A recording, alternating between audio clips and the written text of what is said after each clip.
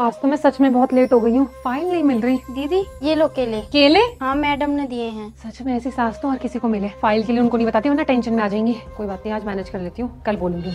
अरे दीदी नमस्ते कैसे हो आप? ठीक हो। आप कहाँ जा रहे हो इतने उसमें बन के मैं ऑफ़िस जा रही हूँ बहुत लेट हो गया है। और ये क्या कपड़े पहने हुए घर में सूट साड़ी पहनो और घर के मर्द काम करते हैं। औरतें काम नहीं करती हमारे घर में? मैं तो काफ़ी टाइम से काम कर रही हूँ। अभी रुको ऑफ़िस मत जाओ रुको। मुझे मम्मी से बात करने दो। अरे ले बेटा तेरा लंच मम्मी ये क्या चल रहा है? तू कब आई? तू तो बाहर गई थी। हाँ मैं अभी अभी आई हूँ पर ये क्या है भाभी ने क्या पहना हुआ है और आप लंच दे रहे हो? हमारे घर की बहुएँ ऑफ़िस नहीं जाती आपको पता नहीं? अब जमाना चेंज हो गया अब दोनों काम करते हैं। ठीक है मम्मी जी मैं जा रही हूँ मुझे लेट हो रहा है। Bye bye mummy ji bye मैं बहू और बेटे के लिए पनीर बना देती हूँ। अरे मम्मी ये क्या तामझाम कर रहे हो? मैं तो कुछ भी खा लेती हूँ। अरे बेटा बहू के लिए बना रही हूँ। मम्मी आप मेरी दो मिनट बात सुनो। हाँ सुना। आजकल की बहुएँ बहुत ज़्यादा शातिर हो गई हैं। बाहर कोई लड़का पटा रखा होगा इसलिए जॉब करने जाती है। पागल हो गई है तू। आप तो बिल्कुल अंधे हो गए बहू के प्यार में इस घर में। पागल हो गई है। इनकी जब आँखें खुलेगी ना तब इन्हें पता चलेगा। मेरी बहू पे मुझे पूरा यकीन है।